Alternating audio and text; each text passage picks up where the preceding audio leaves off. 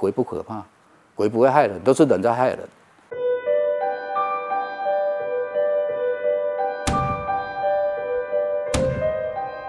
我们是全村里最穷的，那时候最穷的，我们我还拿到那个奖学金，就是清寒奖学金。一年级跟二年级都常被罚站，为什么？就是没有缴学费，然后就站着上课，然后就觉得很很很丢脸这样子。以前都是那种，哎，都挑那个粪去卖。我我还记得那个一桶是五块钱，我们就是帮忙推。还有这很臭，这搞跑到很远，这好像很伤到自己的自尊心。高中跟人家参参加帮派啊，然后就快要去当兵时，人很疯狂，那真的很疯狂。那时候师长打打杀杀的，坐着车然后到处去找仇家。我都是差不多保持在四五间啊，三四间、四五间都保持这样子的，最多可能有到六七间了。我做店都会赚钱，但是赚多赚少。那个便宜，很便宜，那个多好做，你知道，就是那时候一天可以做十几万。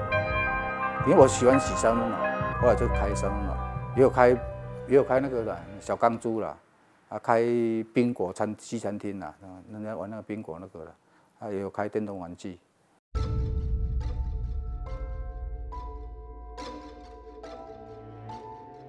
第一次就是我晚上回家嘛。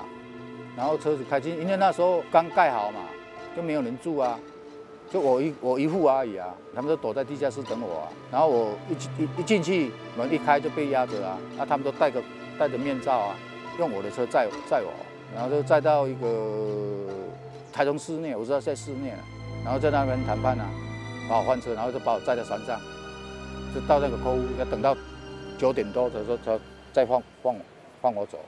他就讲三百多三百万而已，可是我身上有二十几万被他拿走了，还有一个手表啊，还有一个戒指，那就是朋友啊害的啊，他是很很欠钱啊，自己人搞自己人这样子而已啊。徐志宇他没有给我正式讲他的名字啊，只是给我点一下，就啊就你身边的人嘛，我就知道一定是我想那个人嘛。啊，后来他也被打死了，他又去搞别人就被打死了。以前年轻的时候会想说这个不可能发生，如果刚自己自己在一起怎么可能？到现在才知道，呃，人生原来都是这样子。第二次就是在槟榔滩嘛，我去东引钓鱼回来嘛，就两个人拿枪指着说，说我老大在外面要跟你谈话，就把我押出去了。押押出去以后，我老婆就追出去，看看那个车车牌号码，结果那个内应就跑出来给他误导，说不是啊，你看错了啦。不是，比如讲了八八，你不是八八是三三呐，你怎么看看成八八，然后误导误导到后来做笔录做错了，在那里等到都谈判好了，都谈判好了，就开始叫我打电话筹钱嘛，从一亿开始讲，我人在这里，你不放出去，叫我筹一个礼拜都筹不到一亿啦，你不要，不然最少一千万呐，不然就别别谈了啦。哦，那那我筹筹看呐，然后电话给我啊，然后开始打开始打，然后一直打打。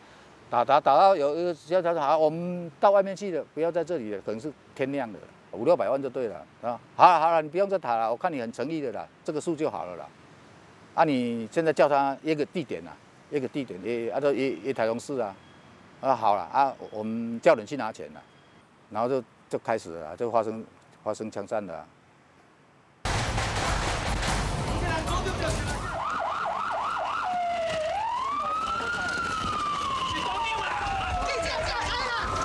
全能的父神，感谢你，因为你是我们的王。求主来保守为我牺牲的叶吉彩跟阿富，求主保守他们在天国，因为他们是为了救我而死舍身。求主来保守他们，让他们在天国里。